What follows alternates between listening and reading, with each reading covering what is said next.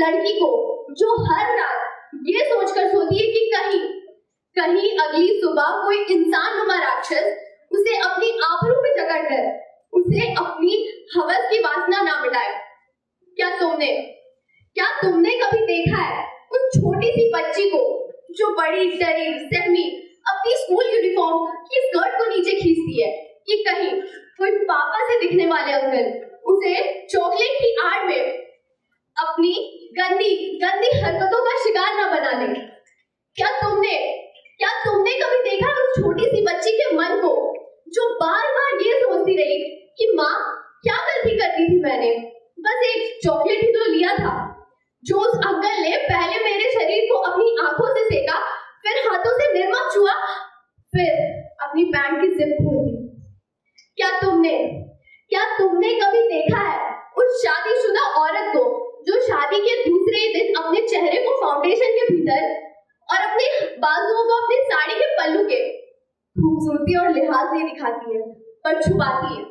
छुपाती है उन जख्मों को जो शादी की पहली ही रात उसके पति ने उसे शादी के तोहफे सा दे दिया। पत्नी तो मेरी, मैं जो जी चाहूँ कर सकता हूँ? क्या शादी के सात फेरों में ये बात लिखी है?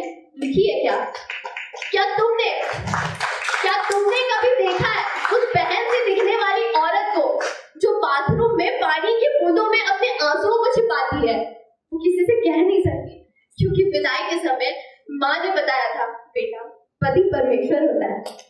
क्या परमेश्वर ऐसा होता है? तो फिर हम पूजा किसकी करते हैं? क्या तुमने? क्या तुमने कभी देखा है उस चौबीस पच्चीस साल की विधवा को, जिसके पति का मृत शरीर तिरंगे में लिपट कर आया था? उसके माथे की लकीरों पे गर्व दिखना चाहिए।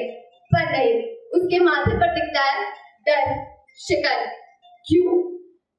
कहीं कोई अगली दिन कोई दरिंदा उसे अकेला समझकर उसकी सफ़ेद, शांत साड़ी के सिलवटों को भून के लाल रंग से ना रंग दे क्या तुमने क्या तुमने कभी देखा है उस पंखे से लटकी उस मासूम सी जान को, जिस, जिसका यौवन कुछ समाज के कलंकों ने छीन लिया हो, जो शरीर, जो सड़क के किनारे दूर कहीं करा रही थी? आह!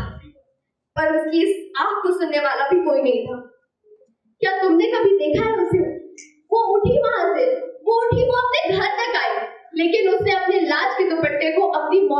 सहारा बना लिया क्या तुमने क्या तुमने कभी देखा है 92 women are raped every day in India 56% children face child abuse per day. Every 34 minutes, a widow is a victim of a martyr and is raped. Are these the figures? Are these the figures we all should be proud of? What? Ashamed? We all should be. क्योंकि तुमने तुमने देखते हुए भी अपनी आँखें बंद कर लें थैंक यू